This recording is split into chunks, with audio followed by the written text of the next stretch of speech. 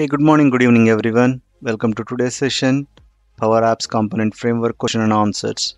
The way I am structuring this session, first I will start with a question followed up by an answer. There are around 30 to 35 questions. Let's get started.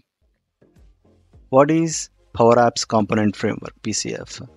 PCF allows developers to create custom components for use within Power Apps. These components can be used to enhance the user experience and functionality that is not available out of box. Question How does PCF differ from traditional Power Apps development? Unlike traditional Power Apps development, which mainly involves configuring existing components, PCF allows developers to build custom components using modern web technologies like TypeScript, HTML, CSS, JavaScript, and other JavaScript libraries. Question what are the main building blocks of PCF component? The main building blocks of PCF component are the manifest file, component code, and resource files. The manifest file defines the component's metadata, including properties and resources. The component code contains the logic, and resources file contains the style sheets, images, and other assets. Question How can you debug PCF component? You can debug PCF component by using browser developer tools. Since the PCF components run within the context of web page, you can set breakpoints, inspect variables, use other debugging techniques available in the browser's developers tool. Question. What is the role of manifest file in PCF component? The manifest file is crucial in a PCF component as it defines the metadata for the component. This includes properties such as components name, version, description and the properties it exposes to Power Apps. Question. Can PCF components be used in both Canvas apps and modern model-driven apps?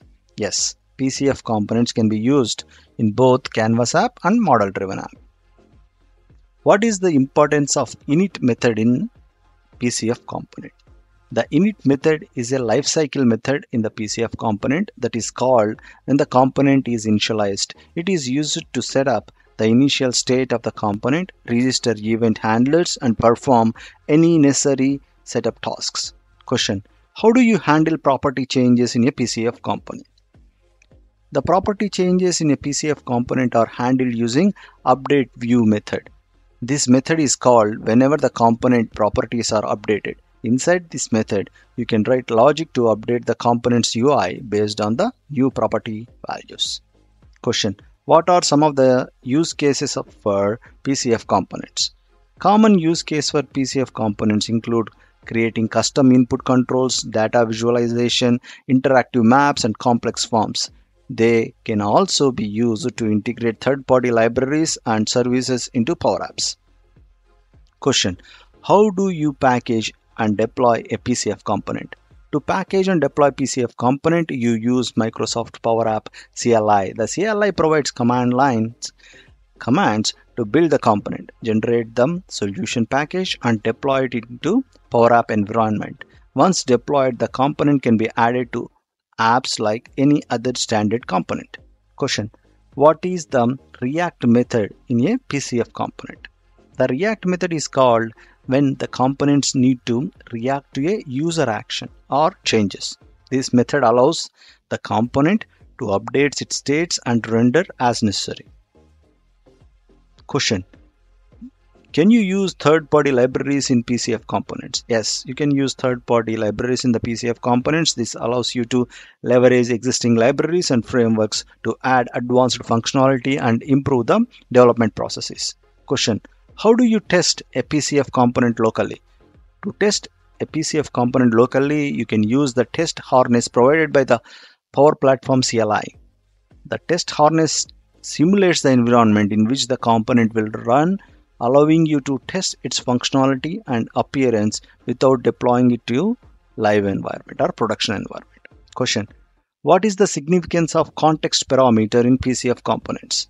The context parameter provides access to the environment in which the component is running. It includes the information about the app, the current user, the component's property, and other runtime data. Question How can you handle asynchronous operations in a PCF component?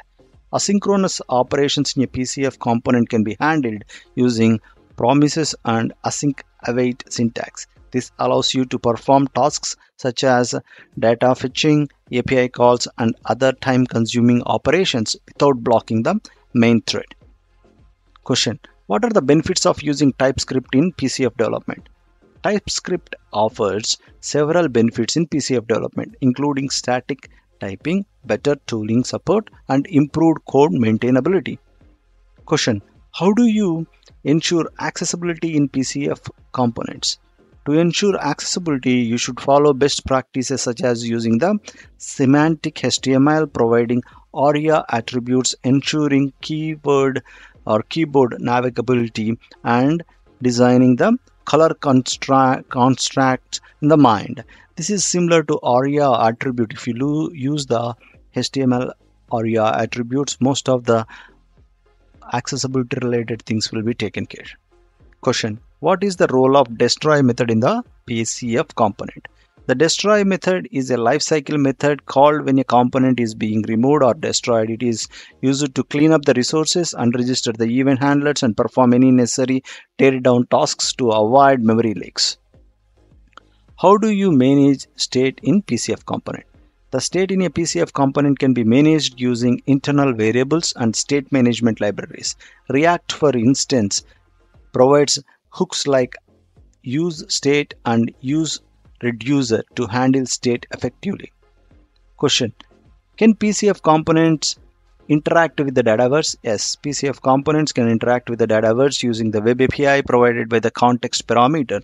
This allows the components to create, read, and update, delete in the Dataverse, enabling dynamic and data driven components. Question What is the significance of the output method in a PCF component? The output method returns the current state of the component's properties. This method is essential for ensuring that the change made within the component are reflected in the parent app, enabling two-way data binding. Question. How do you handle errors in PCF component? Errors in a PCF component can be handled using try catch block, custom error handling functions, and logging mechanisms. Question. Can you use CSS frameworks like Bootstrap in the PCF components? Yes, you can use CSS frameworks like Bootstrap in the PCF components. These frameworks can include as dependencies and imported into the component style, providing consistent and responsive design. Question What are some of the best practices for optimizing performance in PCF components?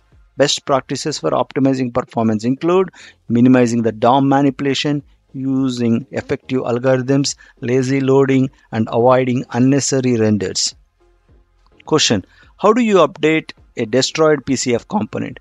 To update a deployed PCF component, you need to make the necessary changes in the component's code.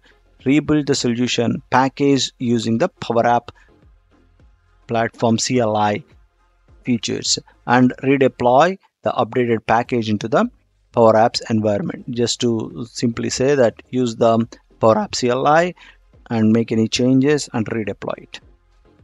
Question What is the use of notify output changed method in PCF component? The notify output changed method is used to notify the framework that the component output has changed. This triggers the framework to call the output method to update the parent app with the new data. Question can PCF components be used offline?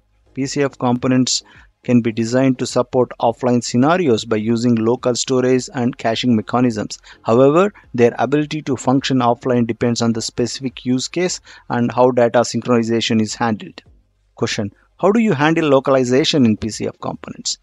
Localization in PCF components can be handled using the resource file for different language and loading appropriate resources based on user's locale. The context parameter provides the information about user's language settings which can be used to select the correct resources. Question What is a full name property in manifest file used for? The full name property in the manifest file specifies fully qualified name of the component. This name is used by framework to identify and load the component and it must be unique within the environment. Question how can you share a PCF component with other developers or organizations? You can share PCF component by packaging it as a solution and distributing the solution file. Other developers or organizations can import these solutions into their Power App environments to use the component. Question What tools are available for building and deploying PCF components?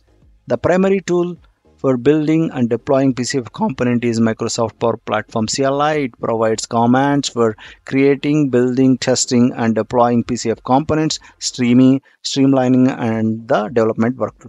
Question How do you version control PCF components?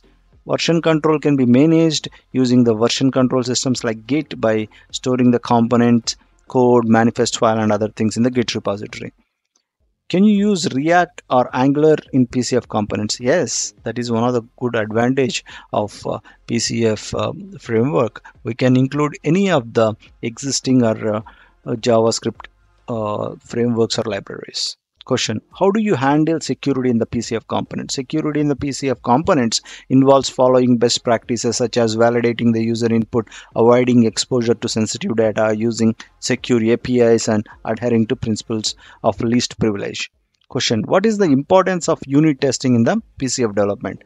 Unit testing is a crucial PCF development. Uh, it ensures the individual components function correctly. And this completes our uh, questions and answers of the PCF uh, components. Hope you learned something. Looking forward to see you in my next session. Bye for now.